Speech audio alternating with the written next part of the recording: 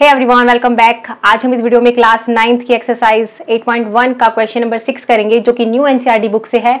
और old NCERT book की अगर हम बात करें तो इसमें क्वेश्चन नंबर टेन है। शुरू करने से पहले, अगर आप इस चैनल पर नए हैं तो प्लीज़ इस वीडियो को लाइक कर दीजिए और इस चैनल को सब्सक्राइब कर दीजिए और वीडियो के एंड तक बने रहिए। चलिए शुरू करते हैं question number six statement is ABCD is a parallelogram ये हमारे पास फिगर गिवन है। एबीसीडी रहे एक पैरेललोग्राम है and AP and are perpendiculars on the diagonal BD जो बीडी डायगोनल है, उसके ऊपर ए और सी से परपेंडिकुलर्स है हमारे पास, ठीक है? शो करना है हमें टू पार्ट्स हैं। देखिए, जो फ़र्स्ट पार्ट है, वो क्या है कि जो ट्राइंगल ए पी बी है, वो कॉन्ग्रेंट होगा किस ट्राइंगल के? C Q D C Q D ठीक है? तो हमें ये जो दो ट्राइंगल्स है ना, इन दोनों ट्राइंगल्स को आपस में कॉन्ग्रेंट प्रूव करना है। तो देखिए कॉन्ग्रेंट प्रूव करने के लिए आपको क्या होता है? मिनिमम थ्री कंडीशंस की रिक्वायरमेंट होती है, ठीक है? तो हमारे पास वो कुछ कंडीशंस गिवन है, कुछ हमारे पास जो रिजल्ट्स गिवन है, उससे हम फाइंड आउट कर लेंगे, ठीक है? तो फ़र्स्ट देखिए, हमारे पास क्या गिवन है सबसे पहले? ए बी सी डी एक पैरेललोग्राम है। तो पैरेललोग्राम की प्रॉपर्टी क्या होती है कि opposite sides are equal and parallel which means ये साइड इसके इक्वल होगी, ठीक है? ये साइड इसके इक्वल होगी। तो we will write solution of first A B is equal to D C because A B C D is a parallelogram. ठीक है, ये हमारे पास गिवन था।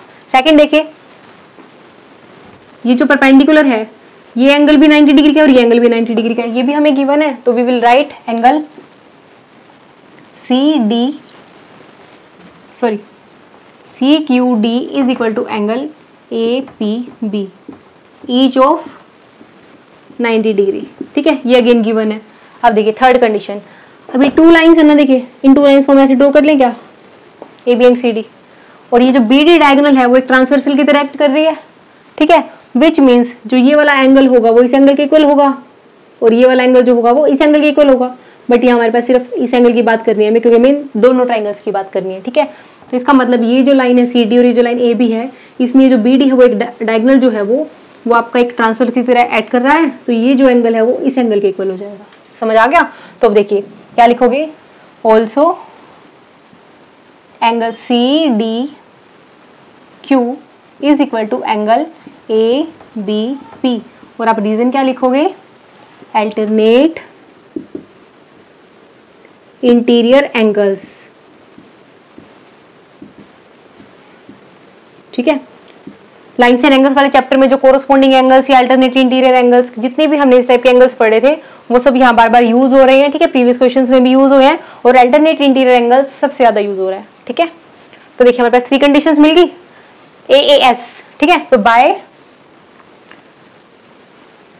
ए ए एस ठीक है?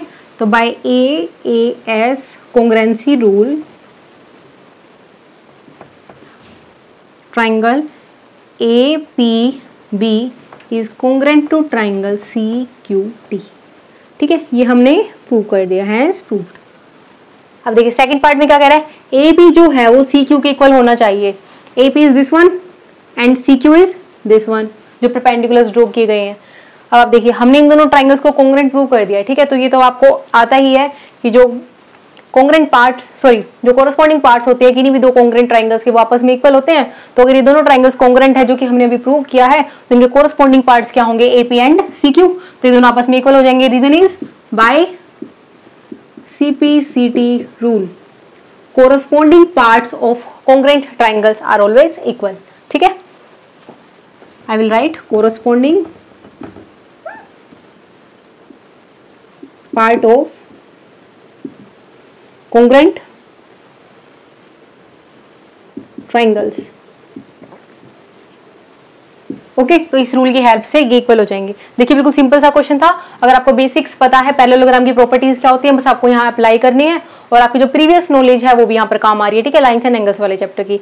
आई रियली होप ये वीडियो आपके लिए यूजफुल रहेगा और आपको ये क्वेश्चन समझ में आया होगा। प्लीज़ इस वीडियो को लाइक कर दीजिए और ज़्यादा से ज़्यादा चैनल को सब्सक्राइब कर दीजिए। Please do support keep watching